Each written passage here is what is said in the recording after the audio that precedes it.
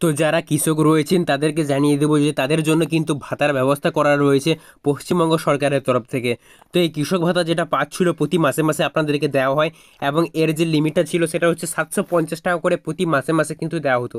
কিন্তু এটা কিন্তু নবান্নে মুখ্যমন্ত্রী মমতা ব্যানার্জি কিন্তু এটা বাড়িয়ে দিয়েছে। এর অ্যামাউন্টটা এর অ্যামাউন্টটা বাড়িয়ে এক হাজার টাকা করে প্রতি মাসে কৃষক বার্ধক্য ভাতা করে দেওয়া হয়েছে। আপনারা যারা কৃষক রয়েছেন বা কৃষক শ্রমিক রয়েছেন, তারা প্রত্যেককেই মাসে মাসে এক হাজার টাকা করে পেয়ে যাবেন। এই কৃষক ভাতা ফর্মটা ডাউনলোড করে এটা ফিল আপ করে। তো কীভাবে এই ফর্মটা ডাউনলোড করতে হবে ফিল আপ করার কী প্রসেস রয়েছে এবং কীভাবে আপনারা ফিল আপ করবেন এবং এর সঙ্গে সঙ্গে কী কী ডকুমেন্টস লাগবে, আমরা সব কিছু আপনাদেরকে এই ভিডিওর মাধ্যমে হাতে কলমে ফর্মটি ফিল আপ করে দেখাবো। তো ভিডিওটি শুরু থেকে শেষ পর্যন্ত আপনাদের কাছে দেখার অনুরোধ রইল এবং নতুন হয়ে থাকলে আজ থেকে দেখলে আমাদের এই ডিজিটাল চ্যানেলটিকে সাবস্ক্রাইব করে রাখবেন। এরকমই বাংলার রিলেটেড খবরাখবর সবার আগে পেতে। তাহলে চলুন দেরি না করে আজকের আমাদের ভিডিওটি এইখান থেকেই আমরা শুরু করি।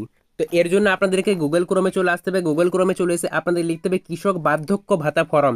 লেখার পর সবারই এক নম্বরে। আপনি এটা পেয়ে যাবেন এই অফিসিয়াল ওয়েবসাইট এই অফিসিয়াল ওয়েবসাইটে ফর্ম পিডিএফ বলে একটা অপশন থাকবে। সেখানে গিয়ে এটা আপনারা ডাউনলোড করে নেবেন। ডাউনলোড করে নেওয়ার পর ওপেন করবেন ফর্মটা আপনাদের সামনে কিন্তু এরকম ফর্ম চলে আসবে।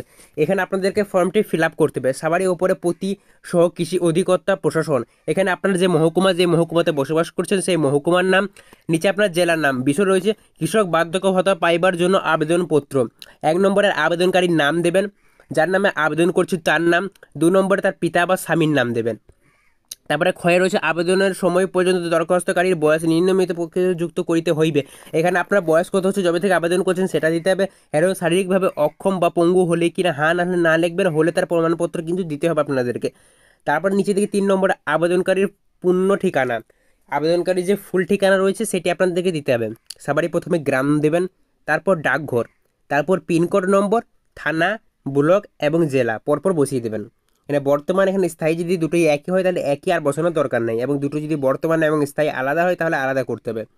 চার নম্বরে দেখতে পাচ্ছেন ভোটার কার্ড নম্বর। এখানে আপনাদেরকে ভোটার কার্ডের নম্বর দিতে হবে, তার সঙ্গে সেলফ অ্যাটেস্টেড অর্থাৎ নিচে সই করে তার কপিও দিতে হবে। এখানে আপনাদেরকে লিখতে হবে। তারপরে আধার কার্ডের নম্বর বাধ্যতামূলক নয়। যদি থাকে তাহলে দেবেন, আধার কার্ডের জেরক্স লাগবে না। তারপর পাঁচ নম্বর অর্থনৈতিক অবস্থা। কয় লেখা রয়েছে বর্তমানে নিজ মালিকাধীন জমির পরিমাণ B L L L R O slash R I মহাশয়ের শংসাপত্র যুক্ত করিতে হইবে। নিচে রয়েছে নিজস্ব রয়েছে না বর্গা জমি রয়েছে আপনার? সবারই যে জমিটি আপনার রয়েছে, সেই জমিটি কোন ব্লকে রয়েছে? কোন মৌজাতে জমিটি আপনার আছে? জেল নম্বর কত জমিটির? জমিটির খতিয়ান নম্বর কত? জমিটির দাগ নম্বর কত? এবং জমির পরিমাণ কত? আপনাদেরকে এটি কিন্তু বসাতে হবে। যদি নিজস্ব জমি হয়, অপরে লিখবেন, নাহলে বর্গা জমি হলে বর্গা লিখবেন। তারপরে এখানে কিছু বলা রয়েছে, দেখতে উপযুক্ত জমি যে রয়েছে, আপনার যে জমি উক্ত জমি নিজ হাতে চাষ করেন কিনা নাকি বর্তমানে চাষ করেন না, সেটা হা না না লিখতে হবে আপনাদেরকে। বর্তমানে নিজের কোনো আয় আছে কিনা থাকলে তাহার বিবরণ না থাকলে না লিখবেন। অন্য কোনো সূত্র থেকে পাইলা তার বিবরণ। এখানে যদি থাকেন, অন্য কোনো সূত্র থেকে যদি ইনকাম আসে, তাহলে হান হান না। তারপর দেখতে পাচ্ছেন কৃষি শ্রমিক কিনা। আপনি যদি কৃষি শ্রমিক হন, তাহলে হান হানে না করবেন এবং পশ্চিমবঙ্গে বসবাসের কাল আপনি কতদিন ধরে পশ্চিমবঙ্গে বসবাস করছেন সেটি লিখতে হবে। আপনি যদি চল্লিশ, পঞ্চাশ বছর যদি আপনার বয়স হয় বা আপনার ষাট বছর যদি বয়স হয়, আপনি ষাট বছর থেকে যদি বসবাস করছেন, পশ্চিমবঙ্গে তো ষাট বছরই লিখে দেবেন। তারপর দেখতে তপশিলি, সাত নম্বর লেখা হয়েছিল তপশিলি ভুক্ত উপজাতি কিনা, হাঁ হলে হাঁ, না হলে না। যদি হাঁ হন, তাহলে তার প্রমাণ কপি দিতে হবে। তারপর আট নম্বর দিয়েছেন আবেদনকারীর পরিবারস্থ ব্যক্তিগত পূর্ণ বিবরণ, প্রয়োজন পৃথক পৃষ্ঠা যুক্ত করিতে হইবে। প্রয়োজন যদি হয় তাহলে পৃথক পৃষ্ঠা আপনি যুক্ত করতে পারেন। এখানে পরিবারে আপনার ওপর যারা ভরসা করে রয়েছে, তাদের কিন্তু প্রথমে নাম দিতে হবে, তারপর ঠিকানা, তারপরে তার বয়স, তার পেশা, মাসিক আয়, তার কত আপনার যে পরিবারে রয়েছে, আবেদনকারীর সাথে তার সম্পর্ক কী এবং আবেদনকারীর উপর নির্ভরশীল বাটে কি না, সেটা আপনাদেরকে লিখতে হবে। ন নম্বর লেখা আছে কেন্দ্র সিলেস রাজ্য সরকার, স্থায়ী প্রশাসন বা সরকারি পোষিত কোনো সংস্থা থেকে অন্য কোনো ভাতা পাচ্ছেন কি না? হ্যাঁ না না উভয় ক্ষেত্রে স্থানীয় ব্লক উন্নয়ন অধিকারের শংসাপত্র ফর্ম সংযোজিত যুক্ত করিতে হইবে। দশের বলা রয়েছে এত দ্বারা আমি অঙ্গীকার করিতেছি যে, উপরোক্ত তথ্যটি সত্য এবং এমন কোনো আত্মীয় নাই, যাহার উপর আমি ভরসা, ভরস পোষণ করিতে রাখি। এমন কোনো আত্মীয় নাই আমি যাহার উপর ভরস পোষণের প্রত্যাশা রাখি উপরোক্ত তথ্য হইতে প্রমাণপত্র ও শংসাপত্র ভুল প্রমাণিত হইলে আবেদনপত্র বাতিল বলিয়া গণ্য হইবে। নিচে দিকে চলে আসবেন, এখানে লিখছে আবেদনকারী পূর্ণ স্বাক্ষর বা টিপসই এবং নিচে আপনার তারিখ দিয়ে দেবেন। এদিকে দেখতে পাচ্ছেন বাঁ দিকে রয়েছে শনাক্তকারী স্বাক্ষর ও পণ্য মর্যাদা। গ্রাম পঞ্চায়েত প্রধান সভাপতি সে তারিখ করে দেবেন, এখানে তার সই করবেন এবং সিলমোহর মেরে দেবে স্টার চিহ্নিত বিষয়গুলি যথাযথভাবে পূরণ করিতে হবে। এখানে দু নম্বর পৃষ্ঠা চলে আসছে। দু নম্বর পৃষ্ঠা দেখা হচ্ছে এত দ্বারা জানাতে চাচ্ছি যে শ্রী শ্রীমতী। এখানে যার নামে অ্যাপ্লাই করছে, তার নাম, তার পিতা বা স্বামীর নাম, এখানে তার গ্রাম, এখানে তার পোস্ট অফিস এখানে তার জেলার নাম এবং এখানে এত গত সাল থেকে বাসিন্দা। তিনি একজন কৃষক সিলেস ভূমিহীন ক্ষেত মজুদ তাহার এমন কোনো আত্মীয় নাই যাহা তাহাকে ভরণ পোষণে সাহায্য করেন তাহাকে আমি ব্যক্তিগতভাবে জানি, চিনি। তিনি এই পঞ্চায়েত হইতে কোনো সরকারি ভাতা পান না। এখানে গ্রাম পঞ্চায়েতে কিন্তু সই এবং সিলমোহর করে দেবে। তারপর নিজেকে চলে আসবেন নিজেদের এত দ্বারা জানাতে চাইতেছে যে শ্রী শ্রীমতী এখানে লেখা রয়েছে, আপনার নাম, স্বামী, পিতার নাম এত, গ্রাম এত, পোস্ট এই জেলা, এর বাসিন্দা। তাহার নিজের একের বেশি চাষযোগ্য জমি নাই। স্ল্যাশ দুই একরের বেশি চাষযোগ্য জমি বর্গদার নহে।